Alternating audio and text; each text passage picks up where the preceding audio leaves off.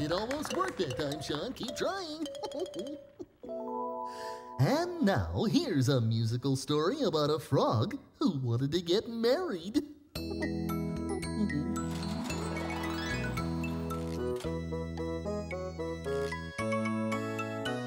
a froggy would a wooing go. A froggy would a wooing go, whether his mother let him or no.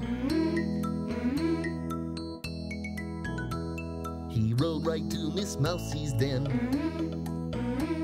He rode right to Miss Mousie's den, said he, Miss Mousie, are you within?